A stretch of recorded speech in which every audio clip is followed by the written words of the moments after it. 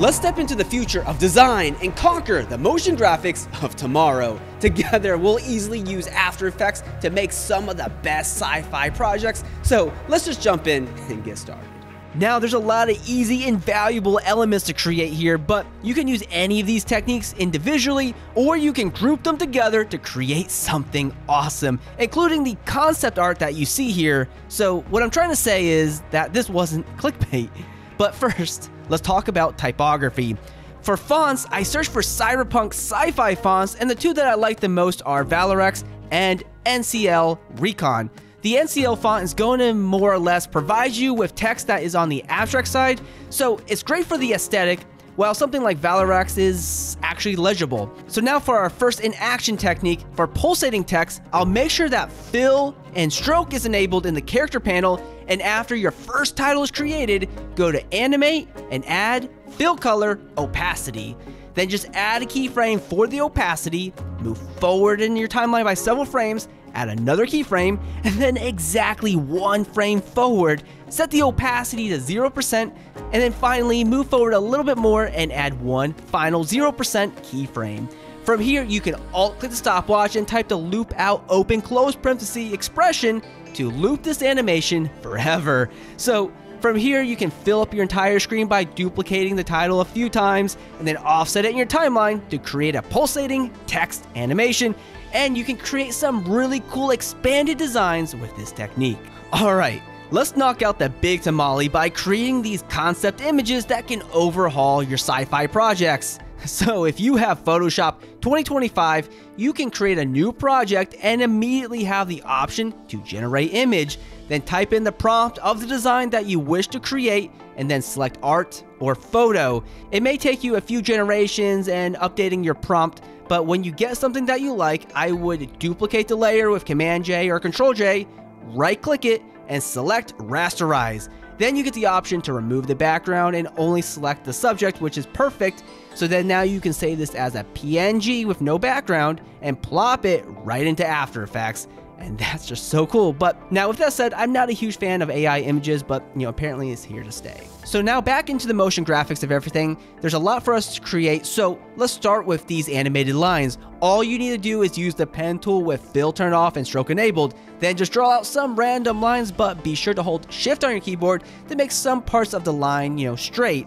But when you're done, you can add trim paths to your design and keyframe the start and end to animate the line completely like so. You can also add the loop out expression to loop it forever.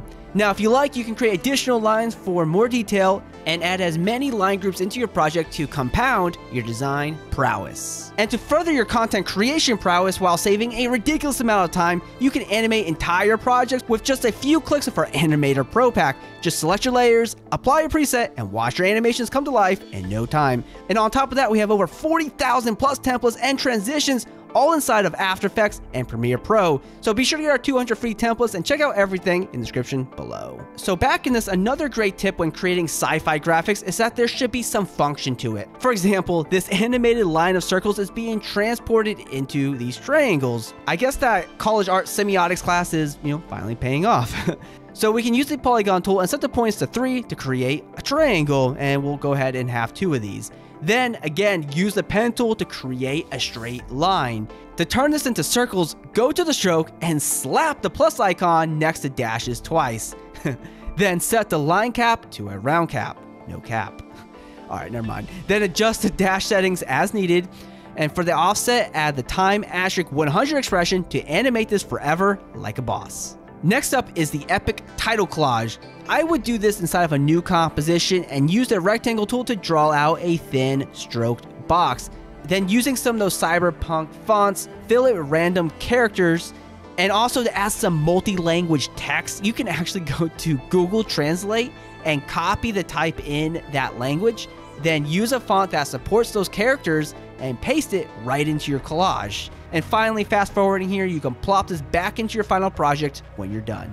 Now, if you thought that last technique was cool, this one is crazy. For some fast-paced objects that will flicker by, here's a wonderful tip. Go to your font dropdown and use wingdings. I know, this is a crazy idea, but seriously, try typing one letter.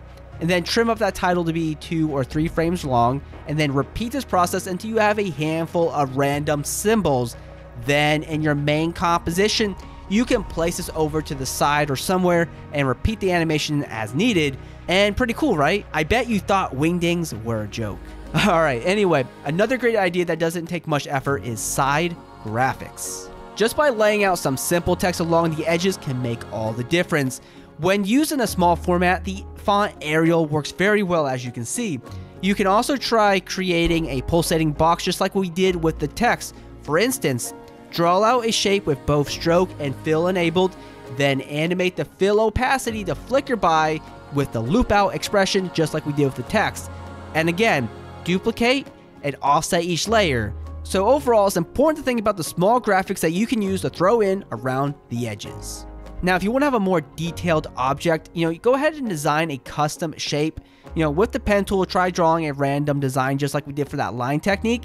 And then you can populate that design with some filler text and boom, another detailed element for your overall composition. Just some quick food for thought. And lastly, adding in some accent graphics will bring splashes of detail where needed. With the pen tool, you can create a thin line, and then under the stroke, set it to round cap, and then add trim paths. You may quickly animate the start and end from 50% to the original value so that the line will animate in from the center.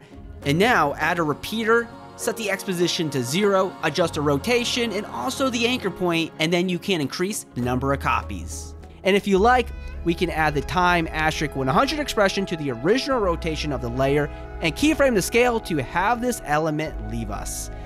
so feel free to populate your scene with this object and you may watch my other tutorial on brutalism for more techniques. So subscribe to be the best and always be creating.